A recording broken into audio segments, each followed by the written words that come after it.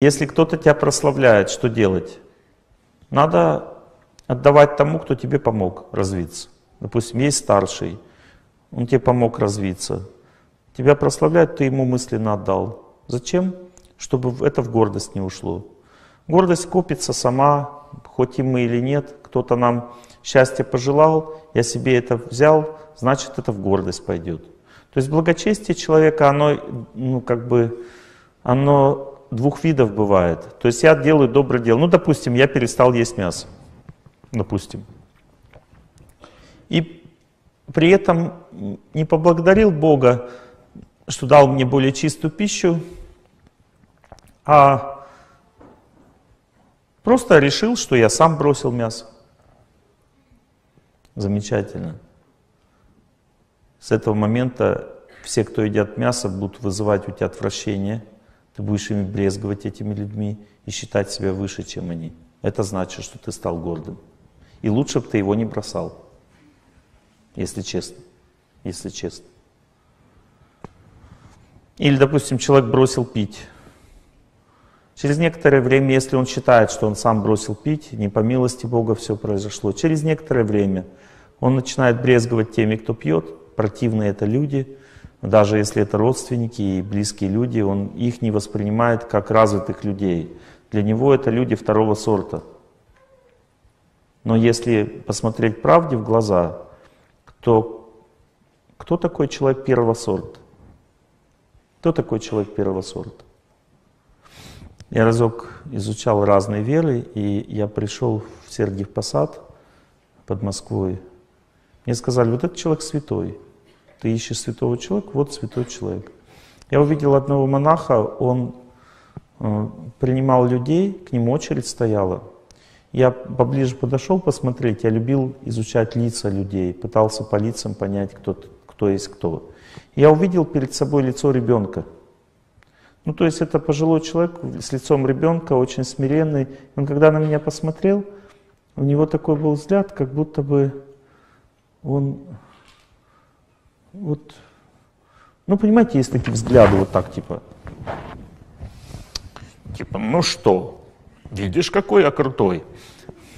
Знаете, что всегда, когда мы видим такую вот эту вот всю, вот этот опломб, это деятельность чувства собственного достоинства, соединенного с эгоизмом человека. Это действительно у человека есть сила какая-то, и он может ее использовать за тебя или против тебя.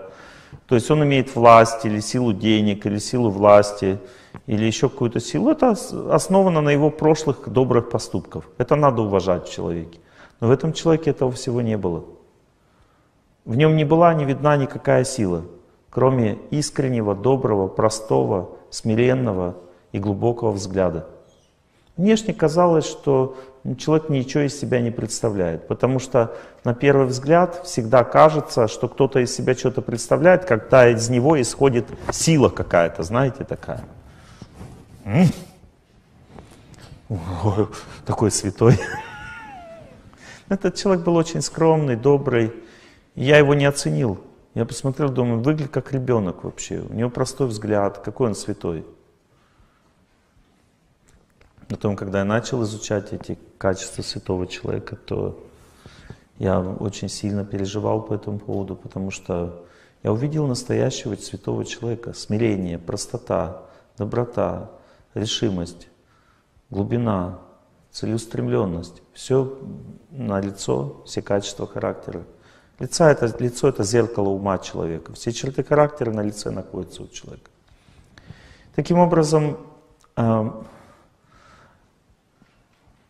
этот человек, он из себя ничего не корчил. Он был абсолютно, ему было все равно, как на его воспримут, как на него посмотрят.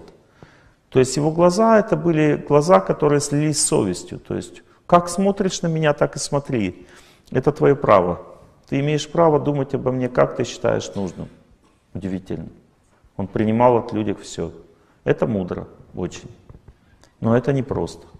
Мы не можем имитировать такую жизнь. Мы не можем имитировать этот взгляд. Поэтому самоотождествление человека сильно зависит от его развития. Это факт. И поэтому не надо требовать от себя лишнего, не надо этим сильно самоедством заниматься. Ой, я такая грешная, я, я, я такая падшая, такая грешная. Не волнуйся, все будет хорошо. Не надо о себе так сильно думать. Займись чем-то полезным. Начни всех служить, прощать, любить и так далее. И означает, что ты будешь жить полноценной жизнью. Жить полноценной жизнью означает забыть про себя. В этом заключается смысл жизни человека. Ну, то есть жить означает что-то делать другим. То есть жить, забыть про себя. Когда человек забыл про себя, он живой, настоящий. Если он помнит только о себе, думает, значит он не живет. А что нам мешает жить? Время. Когда время начинает действовать на нашу жизнь, что оно с нами делает? Оно нам делает больно, вот здесь прямо в сердце. И когда человеку становится больно, что происходит? Его способность служить другим сворачивается, и он начинает скорбить и думать только о себе или о своей жизни, или о том, что с ним сделали, с его жизнью. В этот момент человек теряет жизнь. Он как бы попадает в капкан вот этого вот замкнутого круга. То есть он, его жизнь, она в этот момент, она становится вялой, увядает. То есть он забывает про все и думает о своей жизни только и все. В это время очень опасно оставаться в такой ситуации. Человек должен знать, что в это время он должен подойти к алтарю, включить голос святого человека, настроиться на него и начать молитву. Потому что если он не будет в это время это делать, время ну, сожрет его жизнь. Есть такие ситуации, когда человек может в этот момент вообще расстаться с жизнью. В это время начинаются злокачественные опухоли, тяжелые неизлечимые заболевания, начинаются в то время, когда человек не делает добрые дела и не копит сил для того, чтобы делать добрые дела, а зациклился на самом себе. Это называется депрессия или стресс более развернутая. С депрессией это как бы кульминация стресса. Понимаете? То есть идея заключается в том, что в этом заключается опасность. И в это время, когда человеку больно, он очень сильно сосредоточен на своей жизни и не может отвлечься от событий, которые происходят в его жизни и разрушают его жизнь. И причина заключается только в том, что ему не хватает сил преодолеть эти события. А так как человек не верит в Бога, он думает, что все надо вот именно своими силами делать. Поэтому он и не может от себя в это время отвлечься. Нужно заставить себя отвлечься от себя. Хотя и хочется думать о своей жизни в это время. Нужно заставить себя и начать слушать святой. А если ты не можешь сам молиться и слушать, у тебя даже на это нет сил, иди в храм. В любой храм, если у тебя нет, допустим, своей веры, иди в любой храм. Если есть своя вера, иди в свою веру. Если нет храма твоей веры рядом с собой, иди в храм другой веры. Иди туда, где люди молятся. Стань рядом с ними и слушай их, как они молятся, и ты начнешь оживать. Потому что жизнь означает, если ты сам не можешь жить, тебя жить, жизнь разрушила, время заставило тебя только страдать и все, то в это время ты должен смотреть, как другие живут. Потому что в это время ты напитаешься их силой, способностью жить. А потом, когда силы чуть-чуть появились, надо обязательно также заниматься здоровьем. Заниматься здоровьем это всего три вещи. Первая вещь – пост. Вторая вещь – статические упражнения, неподвижное положение тела. Третья вещь – динамические упражнения. Все. Больше ничего для здоровья не надо делать. Вот три вещи надо делать. Пост очищает от токсинов тело, убирает опухоли. Статические упражнения пробивают тонкие каналы, зажимы, делает психику человека устойчивой, сильной и терпеливой. А динамические упражнения дают человеку силу контакта с природой. Если человек движется на природе, то он становится сильным. У него появляется сила жить, иметь возможность действовать в этом мире. Отказ от почестей дает возможность человеку э, быть свободным от фальшивых отношений с людьми.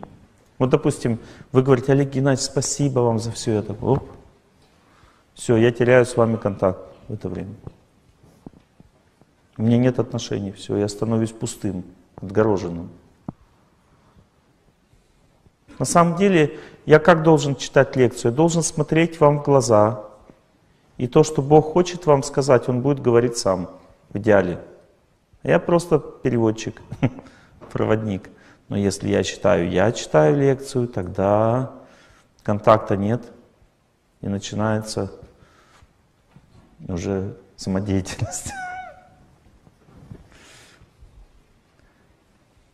Самодисциплина избавляет от беспокойств.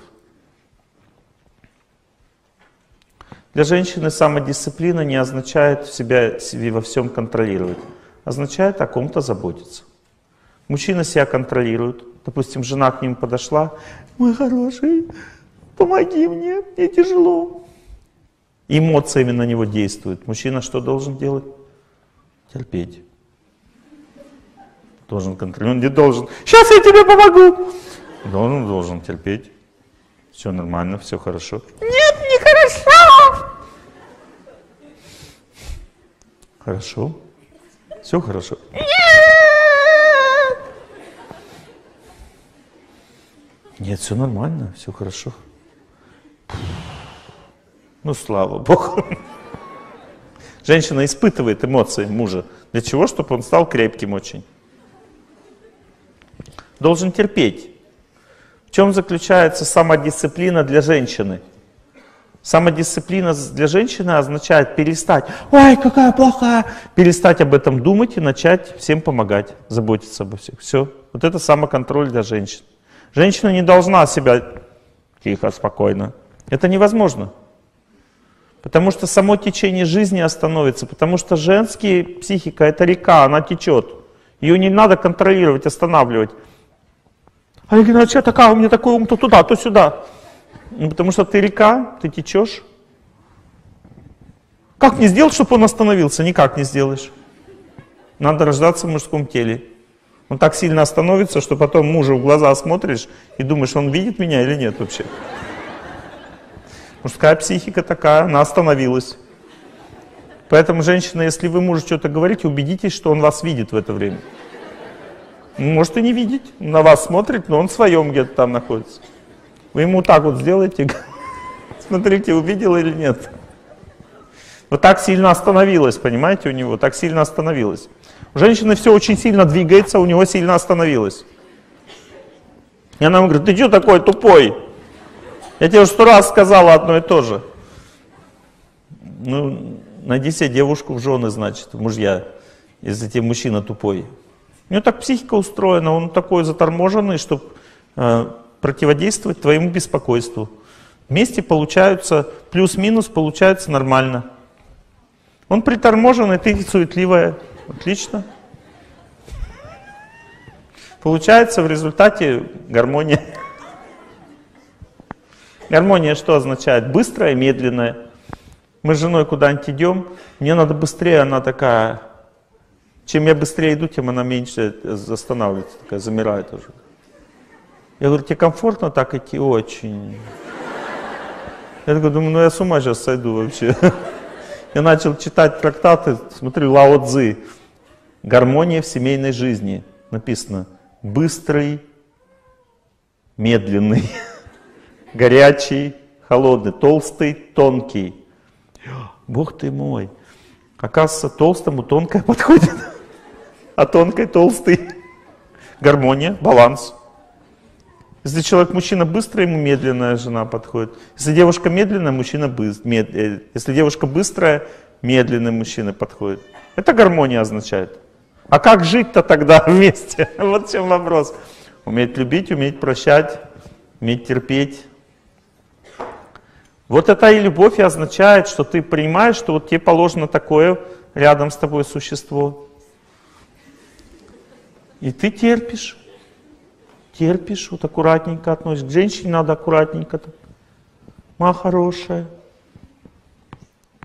Какие-то есть еще вопросы. Куча, куча проблем. Да ну давай будем решать по одной потихоньку. Ну, то есть аккуратненько, спокойненько, нежненько. Потому что женщина, она всего боится. Знаете, что женщине очень трудно замуж выйти? Почему?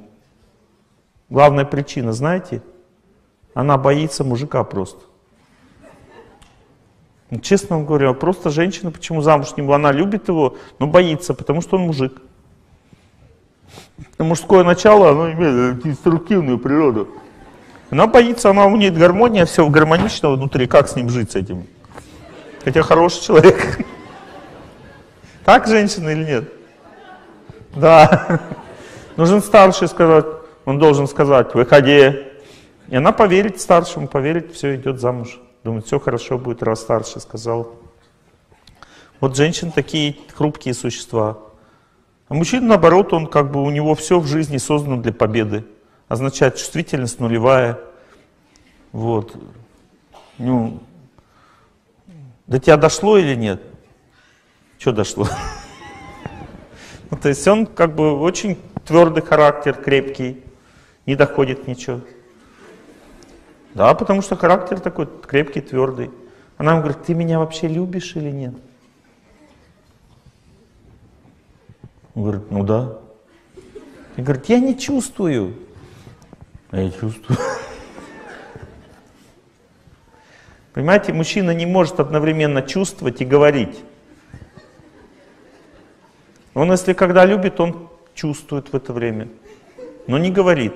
А когда он говорит, он уже не чувствует, и поэтому не, не чувствуется, что он чувствует.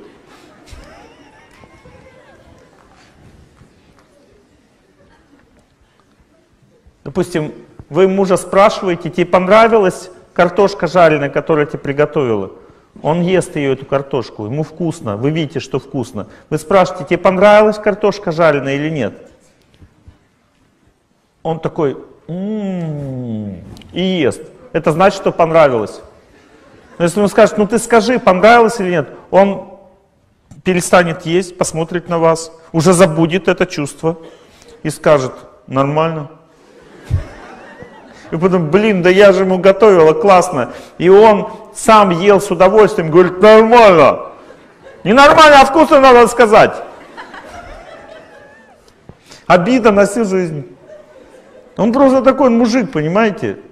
Он не может вот так, как вы, вот так. Ой, мне понравилось. Не может. Не, не работает так система. Мужчины согласны или нет? Согласны. Если мужчина говорит, я тебя люблю, так говорит, это значит, он уже вот все, у него последний предел безысходности.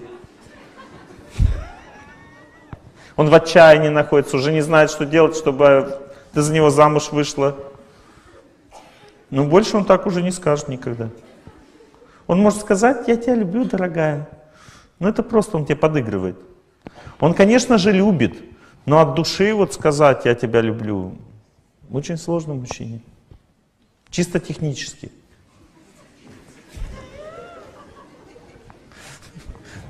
Мы когда с женой женились, там родственники сидели, был стол, и все вставали, они пожелания свои говорили.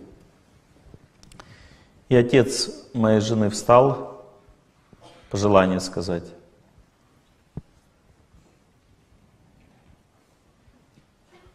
и сел.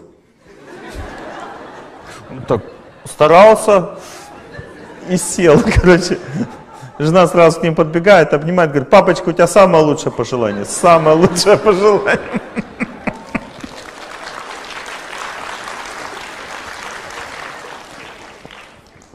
Представляете, какие мы разные вообще. Теперь пойдем дальше. Смотрите, это накладывает серьезные ограничения вообще на все в жизни. Вот, например, если я считаю себя телом, то это значит, что у меня материальная концепция жизни вообще в целом. Это означает, что я считаю пищей белки, жиры, углеводы, витамины и калории. Я смотрю, сколько я калорий съел, белков, жиров, углеводов. Это для меня пища. Другого понимания пищи у меня нет. Я не считаю, что что-то как-то по-другому можно к пище относиться. Это называется грубое самоотождествление. Потому что есть другое понимание, что такое пища. Продукты все имеют психическую основу, не только материальную. Есть грубая материя, есть тонкая материя. Тонкая материя означает психика, характер. Все продукты имеют характер. И если ты считаешь калории, но не учитываешь характер, ну тогда ешь испражнения. Там калорий гораздо больше. Но характер пищи отвратительный. Чем и занимается свинья. Или ешь один белок чистый, чистый сахар, раздельное питание. Белки, жиры, углеводы, все раздельно. Чистый сахар, чистый белок. Вкусно? Нет. Почему тогда, откуда воззела эта теория возникла? Она возникла из непонимания, что у пищи есть характер, поэтому люди и смешивают разные блюда для того, чтобы этот характер дал тебе улучшение твоего характера. И тогда ты уже к пище относишься как к чему-то вкусному и прекрасному, а не просто к химии. Понимаете, вот эта грубая оценка себя как личности накладывает вообще грубое восприятие мира. И в конце концов философия становится такой же. Если я являюсь телом, то значит тело умирает. Это факт, оно гниет. И если тело умирает, и я, значит, умираю, значит, тогда пей, гуляй, веселись, живем одну жизнь. Надо просто быть счастливым любой ценой в этой жизни, потому что дальше ничего не будет. Некоторые говорят, да, может быть и будет что-то, но это буду уже не я. Это тоже заблуждение. Будешь именно ты. Я это увидел в своей жизни. Я вам открою тоже, приоткрою некоторый секрет. Ну, то есть, мне несколько снов снятся всю жизнь. И когда я начал анализировать эти сны, я увидел, что они не похожи ни на одно событие в этой жизни, а выглядят очень явно. События были похожие, но не такие, как во сне. И это дало мне ключ к выходу на прошлую жизнь. Я начал концентрироваться на этот сон, когда попал в него, вспомнил себя в этом сне и начал по памяти искать это событие и нашел. Я увидел себя в другом теле, и это я, но тело отличается, ну похоже на это, похоже. Вот, тело отличается, оно другое. Здания более старые, все как, как в фильмах старых. И примерно такая же жизнь похожая. Ну, как бы этапы жизни, какие-то испытания, все очень похоже. Я был в шоке. Оказывается, вот так вот все. Мы остаемся теми же самыми, ничего не меняется. Просто мы получаем другое тело в соответствии с своими желаниями и поступками. Причем есть вообще здесь такие вещи, которые я даже вам не должен говорить потому что это эзотерические, тайные вещи. Ну, раз сказал, уже все думают, давай рассказывай. Но это тайна, вы не сможете все это понять. Понимаете, есть два настроя в жизни, два настроения. Одно настроение это на развитие или на аскезу. Я хочу стать лучше. Это настроение достойно не только человеческой формы жизни, а также божественных форм различных. Есть различные ангелы, формы другие, выше нашей жизни. Более высокие формы жизни есть. Но если человек хочет счастья просто в жизни, он хочет счастья, то знайте, что все виды счастья, они закреплены за разными животными телами. В человеческой жизни счастье не предназначено. Мы не для счастья в теле человека родились для побед над собой. И мужчины, и женщины, все. Ну, по-разному. Например, женщина не должна аскетичной быть. Она должна учиться любить, прощать. Она должна свою аскезу совершать в отношениях с людьми. А мужчина свою аскезу совершает в отношении с собой. Вот и вся разница. Женщина в отношении с собой не должна совершать сильно большие аскезы. Но аскезы какие-то нужны. Иначе даже здоровой не будешь. Женское тело не предназначено для того, чтобы себя сильно лишать всего.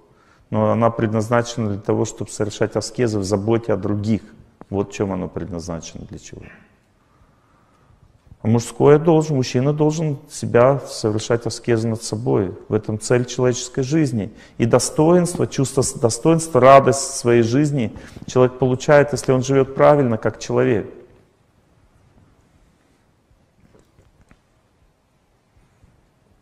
Но правда жизни такова, что если ты хочешь всем все доказать, всех ругаешь, постоянно злишься на всех, то для этого уже есть тело, предназначено для того, чтобы легально, законно злиться, ругаться на всех. Что это за тело? Тело собаки, правильно. Гавкай сколько хочешь, никто не сможет возражать. Ты имеешь полное право, потому что это тело предназначено для того, чтобы нагавкаться. Нет другой причины, зачем рождаться собака. Если ты, допустим, хочешь выспаться, тогда есть разные тела медведей. Пожалуйста, полгода в году спи сколько хочешь, еще каждый день на ночь. Мишка Каала, вообще он там два в одном у него. Он, он очень вкусно кушает, самую вкусную на земле пищу он кушает. Это листики дерева, на котором он висит. И он спит целый день, спит. Когда он проголодается, он открывает глаза и видит листик перед собой. Там. И опять спит. У него глаза балдежные. Ни один миллиардер не сможет быть таким счастливым. Поверьте мне, ему ничего не надо, у него все хорошо. Круглый год, лето. Спит, ест, все. Счастье полное вообще. Посмотрите домашнее задание, возьмите животное, посмотрите в глаза, сравните со своими. С целью понять, у кого больше в глазах счастья. Вы увидите, что у животного в десятки раз больше счастья в глазах, чем у человека. Поэтому мы их держим. Они мой хороший. Видите, то есть есть высшая цель жизни, которая, на котором психика человека как на острове стоит. То есть какую цель себе высший человек сформировал, там его психика в ракурсе этой цели живет. То есть цель сломлена, жизнь закончена. Ну, то есть наступает стресс длительный, который длится от полутора до трех лет, как минимум. Может быть, больше. У кого сейчас так происходит, поднимите руку. Ну вот это, видите, сломлена жизнь. Какое-то событие ведь было, так ведь? Не, не просто так, раз и все. Какое-то событие, оно сломало жизнь. Это причина тому, что была поставлена неправильно высшая цель жизни. Вот это самая главная тема для изучения в древних писаниях, вот в Ведах и так, также в православии, везде, в христианстве. Цель жизни является главной темой для изучения. О, вот смотрите, вот у меня вот, видите, какой красивый юноша талантливый. Это мой помощник, меня потому что люди мучают консультациями по здоровью. Вот это к нему обращайтесь. У него сейчас он свободно сейчас пустует. Бесплатные консультации, все, что мы можем кому помочь, не можем кому, что там, советы какие-то. Вот. В день по 20 человек принимает, в смысле, вот, во время лекции. Приходите и его мучите. Мне по здоровью вопросы не задавайте, потому что я не буду на них отвечать. У нас другая цель. Итак, очень важно знать, вот смотрите, допустим, цели жизни бывают разные. Есть два способа их ставить. Первый способ цели ставится от того, что человек э, просто получил ее по судьбе, эту цель. Допустим, рождается ребенок, женщина считает, что высшая цель жизни ее – это вырастить ребенка. Так? Смотрите, интересно, что в этом случае происходит. Она свою психическую энергию вкладывает в ребенка как? Она начинает ему поклоняться в сердце. Понимаете, есть три типа отношений. Отношения уважения, отношения почтения, отношения поклонения. Отношение поклонения означает, что я отдаю всего себя, цель своей жизни, всего себя. То есть, если ребенку он видит, что мать ему, отдает, его отдает, ему отдает всего себя, то как он воспринимает мир в этом случае? Он считает, что он центр Вселенной. Так? Результат какой? Он становится очень эгоистичным, растет. Он растет независимым, то есть он к себе привлекает очень много внимания. И ему очень трудно жить поэтому на Земле, потому что мы же не центр Вселенной, мы должны жить для других, учиться. С другой стороны, если мать все-таки считает, что есть более высокие цели в жизни, ребенок это тоже цель. Смотрите, есть высшая цель жизни, и жизненно важная цель. Для матери ребенок жизненно важная цель. Она не может жить без ребенка. Важно, очень важно. Но если она нацеливается на ребенка, считает, что это самая главная цель в жизни, тогда она попадает в стресс неизбежно. Потому что ребенок, когда он вырастает, 13 лет у него психика отстраняется от родителей потихоньку, начинает уходить. Его, его жизнь уходит от родителей. И мать чувствует потерю. Она начинает чувствовать здесь себя плохо, потому что высшая цель жизни не должна уходить. Понимаете, это она должна всю жизнь с тобой рядом быть. Она не может быть отдельно от тебя. И мать поэтому начинает страдать в сердце. Она чувствует, что она как будто что-то теряет в жизни, как будто она никому не нужна. Она начинает третировать дочь, как с дочерью мать такая поступает. Она ее гиперопеку ей создает, не дает ей ни с кем знакомиться. Как с мальчиком она поступает, она начинает его мучить своей излишней вниманием своим. То есть мальчика как надо воспитывать? Надо его отпустить. Шишку получил, значит знает, что так не надо делать. Понимаете, мальчик учится практически, на опыте практическом, а девочка учится с помощью правильных отношений. Если мать держит девочку, значит она думает, что так и надо. И в результате она не может ни, никуда, ни, ни с кем пообщаться. Я знаю такие семьи, в которых мать и дочка живут вдвоем. И дочка никуда не ходит. Почему? Потому что мать не пускала все время. Называется поставить цель жизни неправильно. Видите, всех мучаем и себя в том числе. Мальчик какой вырастает, когда мать постоянно гиперопека. Во-первых, ему это не нравится, он постоянно, мама отстань от меня, я сам. Ну, то есть он сражается с ней, он уже ее не любит за это, то есть он ее отстраняет от себя, не хочет с ней разговаривать, начинается жуткий конфликт, который приводит к разрушению отношений часто. То есть мальчика надо отпускать. А чтобы его отпускать, надо цель высшую ставить, другую в жизни. Сразу вопрос, а какую? Тогда? Если дети не главное в жизни, тогда что главное? веды говорят, что человек не зря родился человеком. Посмотрите, ведь животные чем-то от нас отличаются. Мы зарабатываем себе на жизнь, и они ищут пищу. Мы стремимся к сексу, и они стремятся. Мы хотим отдохнуть, и они хотят отдохнуть. Мы хотим где-то жить, и они хотят где-то жить. Неужели это и есть те человеческие цели, которые мы должны ставить для себя чтобы мы жили разумным существованием. Древние Писания говорят, что человек получил разум, то есть он способен поменять свою жизнь. Вот животное, оно просто живет в рамках своих возможностей. Ну, то есть все собаки одно и то же делают, да, примерно. Не нюхают, там бегают, ищут покушать и так далее. Но люди все по-разному живут. То есть люди могут разные интересы развивать в себе. И веды говорят, самый главный интерес человека заключается в том, чтобы постичь себя. Надо понять, что, во-первых, что я душа, что я вечный. Вот смотрите, если я понимаю, что я не, не, не помру, останусь жить, и потом это то, что я накопил в жизни, то останется со мной, тогда я буду копить. Вопрос, что? Смотрите, я с собой денежку возьму, нет? Нет. Голенькими рождаемся, голенькими умираем. Характер свой возьму? Возьму. Какой был характер, такой останется. Что не меняется в этом плане.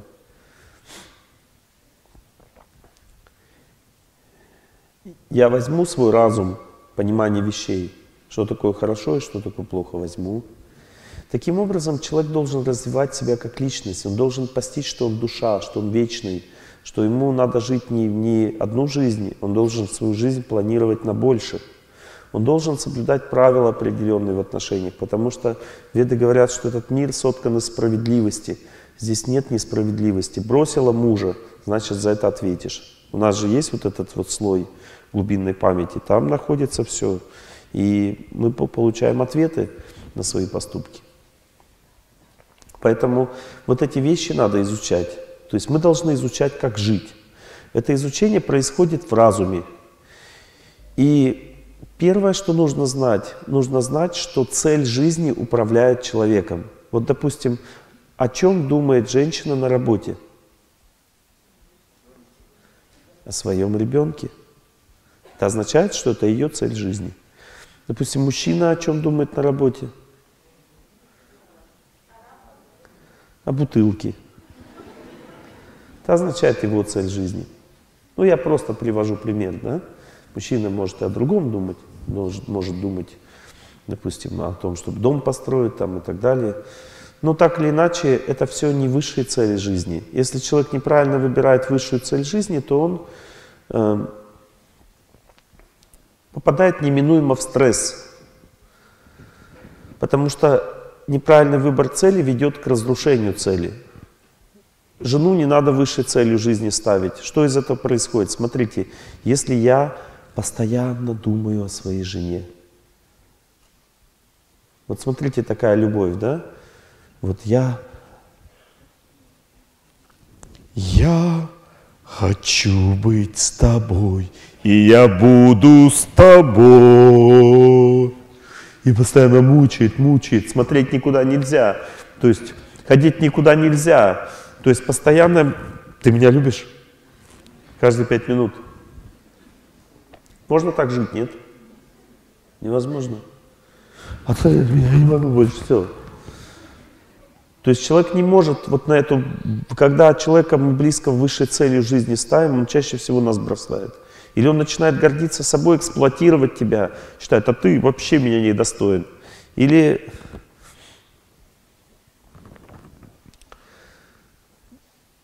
он просто уходит, и все, ну надоедает, и все. Видите, неправильная постановка цели ведет всегда к неправильному результату судьбы. А эти все цели у нас ставятся сами по себе. Теперь дом целью поставили, построить дом. Что за жизнь у нас получается? Жизнь есть, результат нет жизни, а что есть? Работа одна есть только. Работа это не жизнь. Вот смотрите, у человека есть вот возьмем, допустим, кружочек и нарисуем радости жизни, да, то, что по судьбе положено. Положено испытывать радость от детей, от жены, от здоровья, от поездок, от друзей, от изучения, от самосовершенствования, от, допустим, духовной практики и так далее. Ну, много всяких есть видов счастья у человека. Теперь дом поставили целью жизни – в результате с детьми некогда общаться, с женой некогда, здоровье некогда, кушать некогда, в отпуск некогда. Э, все, тю-тю. Работа это тоже счастье. Но если она раздувается на все вот эти вот цели, и это все пока дом не построен, так зачем ему тогда этот дом нужен? М?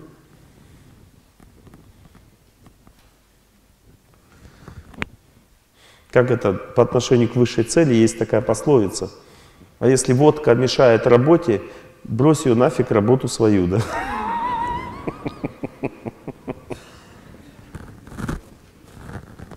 Ну, то есть высшая цель жизни – водка. И человек просто берет, бросает работу, потому что она мешает работе. Здесь высшая цель жизни – дом. И человек все бросает. У него остается только дом. Все, тю-тю. Это страшно.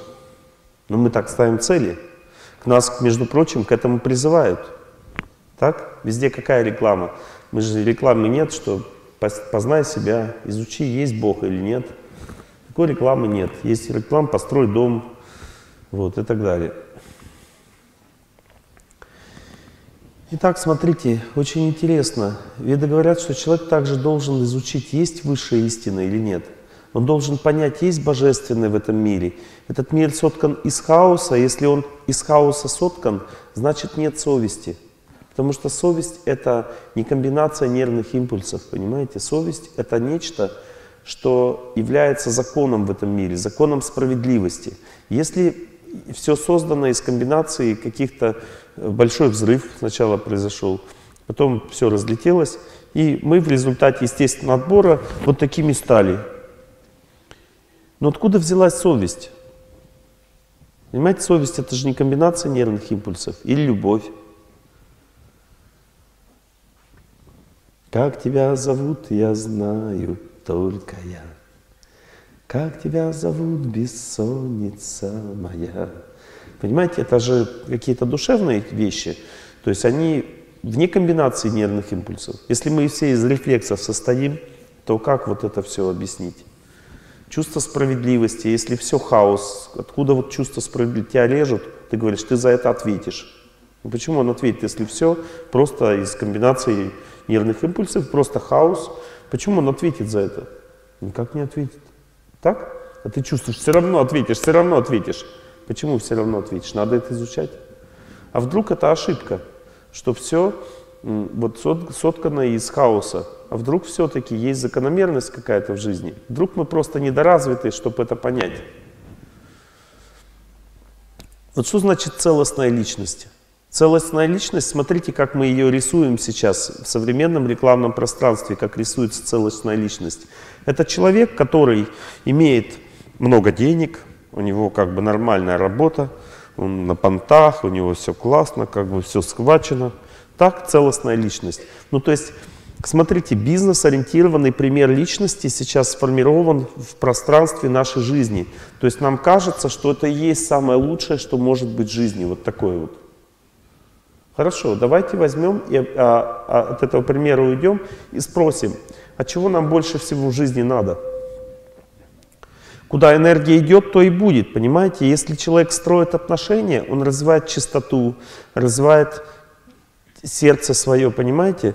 То тогда будет один ход жизни. А если человек думает только о том, как заработать и стать успешным, второй ход жизни. Потому что для того, чтобы вот таким вот крутым стать, надо упахиваться, понимаете, надо очень много образования получить, надо очень много работать, надо стать крутым, наконец. И где же все-таки счастье? счастье в близких отношениях, в дружбе? Или все-таки вот я крутой, мне все не надо, мне дружбу не надо, любовь не надо, или что мне надо? Вы, допустим, скажете, одно другому не мешает. Не факт. Не факт. Есть деловые отношения, есть близкие отношения, есть духовные отношения. Все это надо развивать. Я не против развития того, что в бизнесе, но если ты считаешь, что это все, тогда где любовь? где развитие духовное, где развитие нравственное. Если ты считаешь, что тебе достаточно секса в жизни, тогда ты не знаешь, что такое отношение между мужчиной и женщиной. Вот смотрите, песенка есть одна такая. Песенки, они очень хорошо, потому что они показывают суть.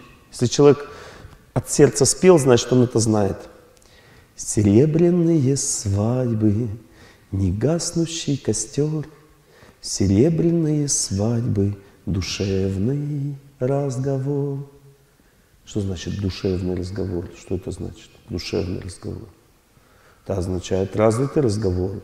Значит, люди друг друга глубоко поняли. Смотрите, веды говорят, что отношения у людей находятся глубоко в сердце. Есть один очень важный момент. Святость означает, что человек развился как личность правильно. У него нет корысти. Как определить, что человек святой? Мне нет корысти. Ничего не надо. Он, тебе, он не мотивируется ни твоими деньгами, ни твоими похвалами. Ему нужно только одно, чтобы ты был счастлив. И он знает, как это сделать. Но единственное условие заключается в том, что ты должен его слушать. Тебе говорит, что делать. Понимаете, если вы считаете, сейчас таких людей нет, хорошо, есть Священное Писание, есть изображение святых людей. Связь с этим человеком может произойти на расстоянии, никто же не умирает. Пожалуйста, думай об этом человеке, ты перемешь от него бескорыстие. И тогда ты получишь ту силу, которая дает возможность нормально жить в этом мире. Вот я вам сейчас сформулирую высшую цель человеческой жизни. Высшая цель — это установить отношения с теми, кто даст тебе в сердце то, что даст возможность нормально жить. Потому что у нас такой силы внутри нет. Мы по природе все равно склонны для себя. А вот это бескорыстие, оно получается в результате того, что мы берем его откуда-то. Нужен пример. Понимаете? Вот раньше, смотрите, пример — это самая важная часть жизни. Вот смотрите, когда у нас в советской стране, да, мы культивировали пример, у нас жизнь кипела радостью. Смотрите, у нас был Ленин. Ленин был примером. Мы о нем думали, для него жили.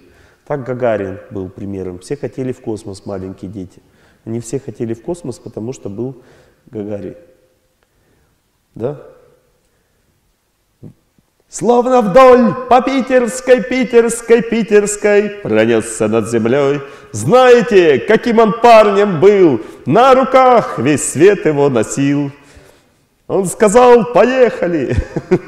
Да, все пели, все счастливы были, потому что был пример для подражания, понимаете? Нам нужен пример жизни, мы не можем для себя жить. Нам нужно, чтобы кто-то был. Перед глазами. И поэтому, естественно, люди, когда они создают свою жизнь, они ищут этот пример. И этот пример создается сейчас там телевидение. Да, мы видим Пугачева перед собой, Шварценеггера, там пример. Я тебе сказал, что я тебя отпущу, за ногу держит. Сказал, я тебя отпускаю. Он пропасть там полетел. Пример. Представляете, что, мы, вот, что происходит? Мы потеряли себя в этой жизни, понимаете? Мы, коммунизма нет, как бы, и ничего нет нового. Нам ничего нового это пространство не дало, в котором мы живем. Мы потеряли святость. Понимаете, я, когда в Москве жил, а, к Матроне, святой Матроне, очередь стоит и днем, и ночью. Если в ночью по Москве пройдете, подойдете к ее там месту, где она захоронена, ночью стоит очередь. Зачем люди туда стоят? Какая цель? Вот что они все, тупые что ли какие-то? Посмотрите им в глаза, тупые они или нет. Вы видите, что они не тупые, там нормальные люди стоят. Почему? Потому что они знают – что ты хотя бы чуть-чуть прикоснулся к святости, у тебя в жизни, в сердце, и на душе не случайно светло, и не случайно весело. Не случайно, потому что ты соприкоснулся с тем, что дает жизнь, дает возможность жить. Если ты с баблом соприкоснулся, возможность жить теряется, понимаете? Ну, то есть попытайтесь это понять, где берется жизнь. То есть есть высшая цель жизни. Мы сейчас с вами говорим о целях жизни. Я это объясняю очень сердечно и глубоко, чтобы это вошло внутрь. Так есть высшая цель жизни, это святость. Надо с ней строить отношения. Когда? По утрам. Утреннее время самое чистое. Человек проснулся. Солнце и Луна, энергия Солнца и Луны в равновесии находят. Солнце еще не взошло, Луна уже гаснет ее сила каснет. И мозги работают очень правое левое полушарие в гармонии. Человек может молиться, думать о чем-то возвышенном. Ставим перед собой изображение святого человека, допустим, Сергия Радонежска, там, ну, у каждого своя вера. В своей вере возьмите. Если вы, допустим, мусульмане, пускай это будет святое имя или Коран, священная книга. Нужна святость жизни. Святость означает бескорыстие. Всегда.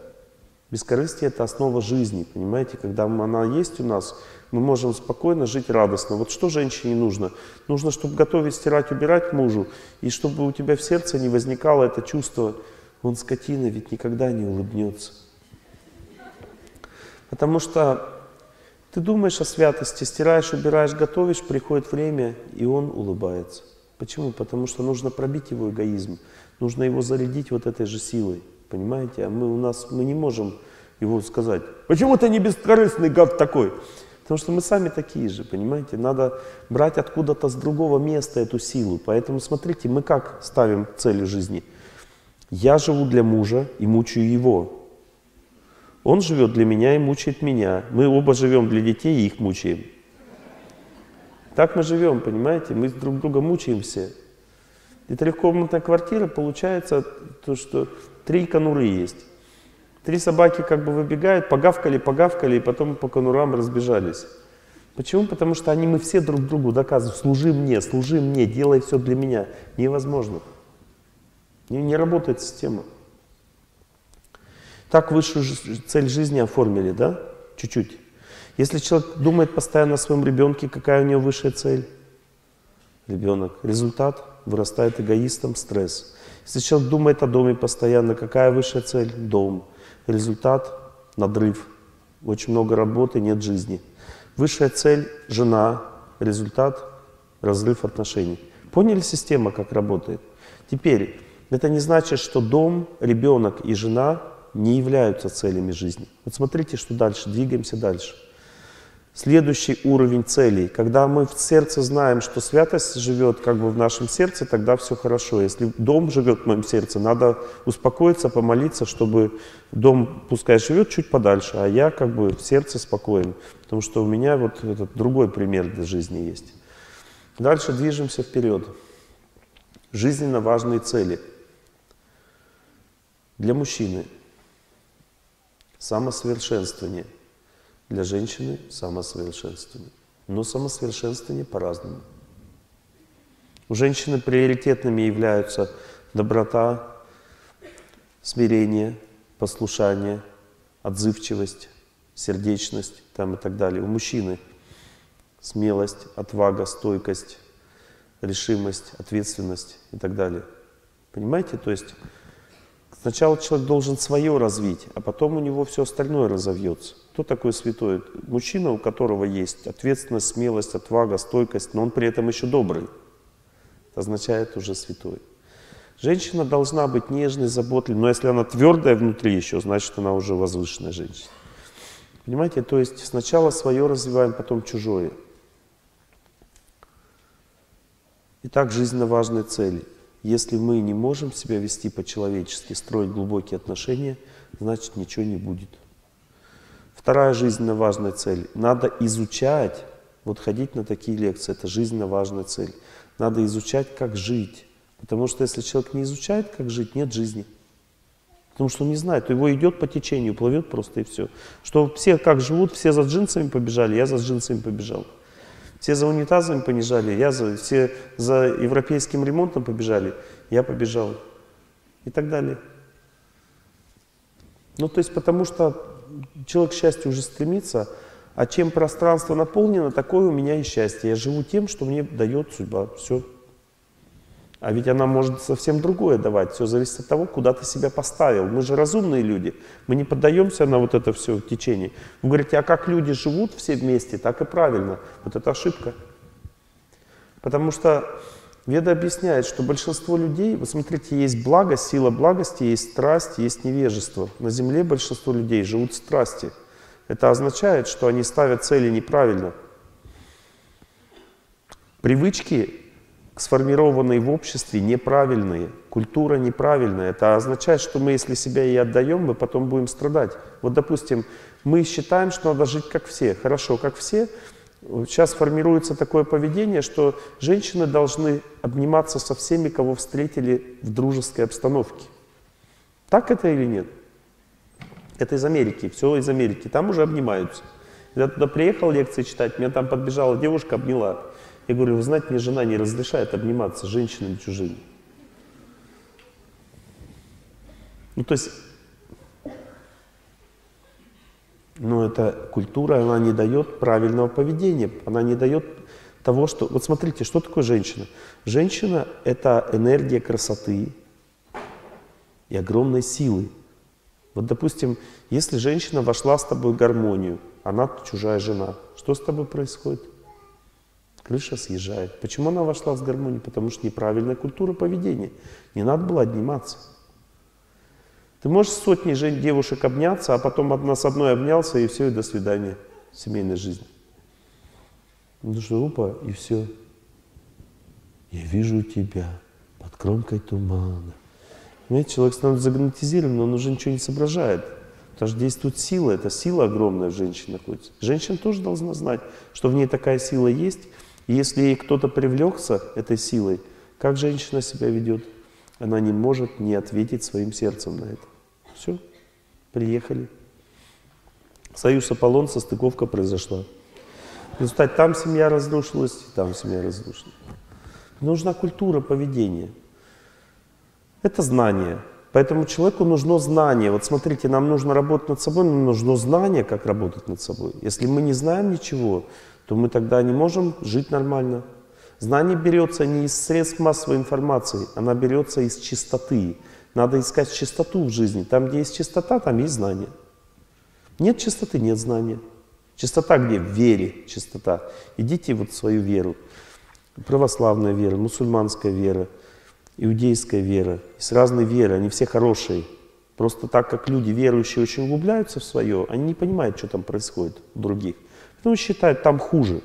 Я изучал этот вопрос как ученый. Я знаю, что там не хуже, там точно так же хорошо. У меня есть православные друзья, есть мусульмане друзья. Я в Казани лекции читал в этом, в Уфе сейчас. Я жил в квартире мусульманки. Она читает Коран на арабском языке. Когда я приезжаю в Ижевск, я живу в квартире православного серьезного человека. Я сам э, преподаю веды, изучаю веды. Понимаете, у меня нет проблем. Жить у православного, любить его, жить у мусульманина, любить его. Почему? Потому что я знаю, что он идет правильной дорогой. Потому что люди, которые выбрали веру в своей жизни, у них есть чистота, у них есть сердце, у них есть совесть, у них есть возможность глубоко, глубоко строить отношения к своей жизни, и значит, у них все нормально в жизни. Видите, жизненно важные цели. Первое – знание. Второе – работа над собой. Третье – здоровье. Есть несколько видов здоровья. Это цель жизни, понимаете? Это цель жизни, это выше, чем работа. Некоторые думают, я буду пахать сначала, а потом вылечусь. Не факт, что ты потом вылечишься. Можно, конечно, зубы брать из этого, из стакана и вставлять. Ну, как бы это уже не то здоровье. То здоровье, зубы есть, все нормально. Но как бы не то уже здоровье. Можно ходить через трубочку. Знаете, что значит ходить через трубочку? Некоторые знают. А причина почему? Потому что ты не думал об этом, то есть ты не ставил цели. Что значит здоровье? Это значит понять, что кушать.